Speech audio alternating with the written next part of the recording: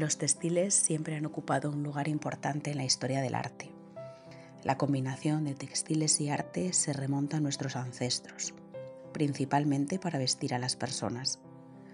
Una vez se establecieron rutas comerciales y se mejoraron las técnicas de producción, sobre todo en plena revolución industrial, los artesanos y artistas empezaron a experimentar con la expresión creativa, utilizando telas, hilos. La gran mayoría eran mujeres, no es de extrañar ya que el arte textil suele considerarse una manualidad y siempre se atribuyen a las mujeres. El trabajo textil anima a reflexionar sobre multitud de piezas que en gran parte de los casos reivindican la costura, los trabajos artesanales, en su mayoría realizados ancestralmente por mujeres. Muchos artistas que, crean obras textiles innovadoras son mujeres, aunque muchas artistas increíbles no reciben el reconocimiento que merecen. Afortunadamente, y aunque poco a poco, esta situación ya está cambiando. Y llegó el boom del arte textil. Ahora copa los espacios de galerías, museos y ferias internacionales. El tejido visto como arte y diseño.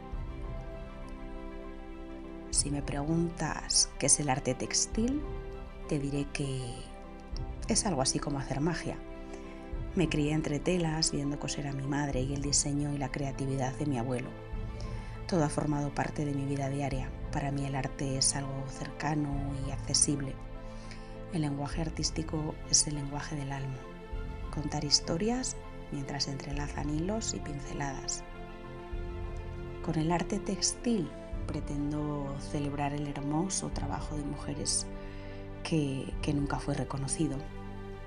Lo utilizo en el mundo contemporáneo y adquiere un nuevo significado.